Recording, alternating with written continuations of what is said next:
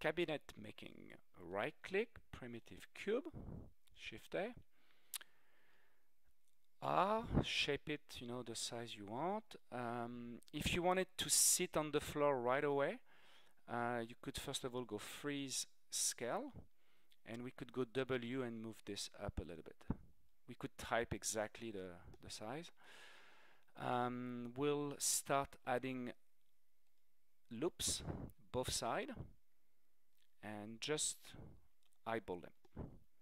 Shift click, shift click, something like this, Q. Now I can go 3 for polygon, select both, B to extrude, van bevel, Q. And now I want to copy those polygons, so I can go Control C or Edit Copy. Now I want to make a new, la new layer. I can press N for a new layer, but look, we have one. So first I'll name this cabinet. And then I'll make this one, I'll name this one drawer. Perfect. So this one is empty. So now I can paste the polygon that I copy. And if you want to check 5 to exit polygon, we can hide the cabinet and actually see those two polygons. So now I can grab them. I could bevel them out, but we can try a new tool called thicken. It's great. It's here. You click here, click anywhere to connect it, and use the blue arrow, and that will thicken our uh, our draw. Q. Now we can move them out with uh, W. You see it's not centered, so if you want to center it, you go Edit, Center to Bounding Box Center. I could also uh, right-click Unmerge to get you know them separated uh, like this, if I want them one by one. But that's fine. Uh, like this. Q. 3 for polygon. Select this one and this one and press B. A little bit like this. Shift click to redo it. Move them down. Now to give this a better look, um, we can go in edges or two. Uh, double. First of all, let's go five. Select this one. Then you go two. Uh, double click to select the edges that we want. Shift double click, and then you can double click here again and just click here.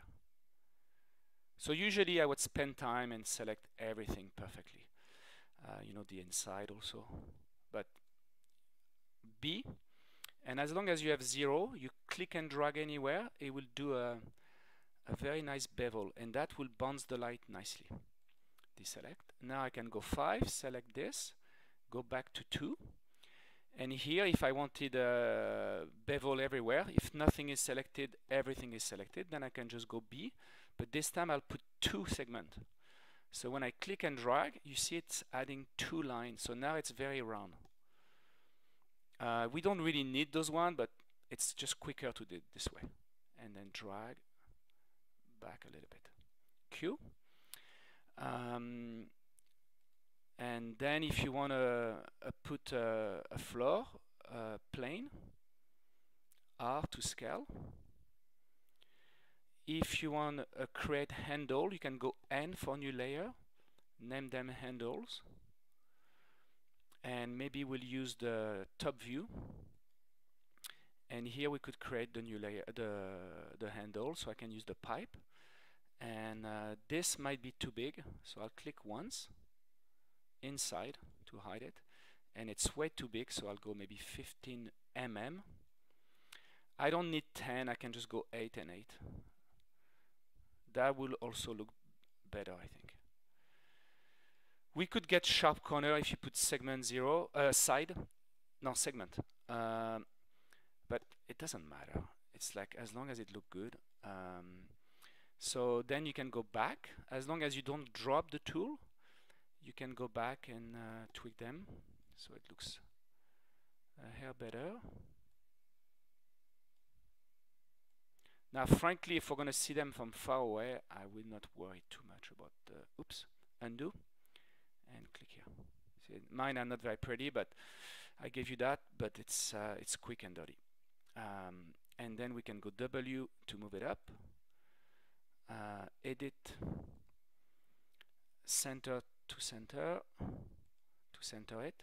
Control D to duplicate. W to move the new one. And uh, then we could uh, select everything minus the plane and control G to group it if you want to give some color select both M and call this handle.